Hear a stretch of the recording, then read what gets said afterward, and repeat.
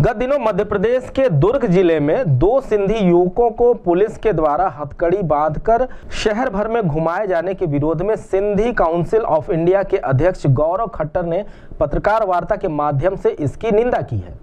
उन्होंने पत्रकारों से बात करते हुए कहा कि दोनों लोगों को हथकड़ी पहनाकर रस्सी बांधकर सड़कों पर घुमाया गया। ये सिंधी समाज कभी बर्दाश्त नहीं करेगा। इस संदर्भ में आगे उन्होंने कहा तीन दिन पूर्व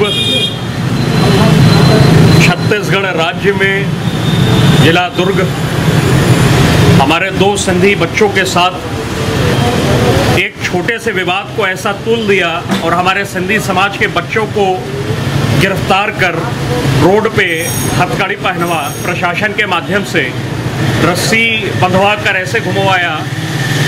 लगा ऐसा कि वह आतंकवादी या अपराधी हैं।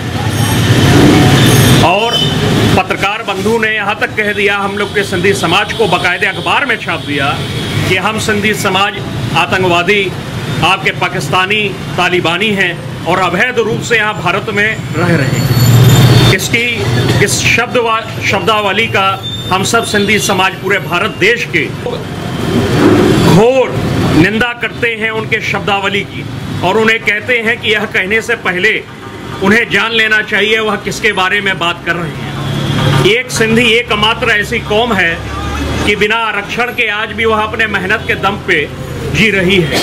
और हम सबको इस बात का गर्व है। बहुत अफसोस की बात है कि लोग ये जब कहते हैं कि हम सब पाकिस्तानी हैं, अरे भाई, मैं उन सबसे आपके माध्यम से प्रश्न पूछना चाहता हूँ, हम पाकिस्तानी हुए कैसे? जब ये सैतालीस में हिंदुस्तान का विभाजन हुआ तब सिंध वहाँ गया। सिंध तो पहले हिंदुस्तान में ही था, तब तो पाकिस्तान का नामो निशान नहीं था, और आज आप कहते हो कि पाकिस्तानी हैं हम। ऐसा कह के वह सिंधी समाज के एक एक प्राणी का उन्होंने उसकी भावनाओं को ठेस पहुँचाने का काम किया है। मैं, पूरा सिंधी समाज, उस चीज़ की घोर निंदा करते हैं और उन्हें एक बार पूर्ण मैं निवेदन करता हूँ, वह किसी के बारे में कहने से पहले एक बार उनके समाज और उनका इतिहास जान लें।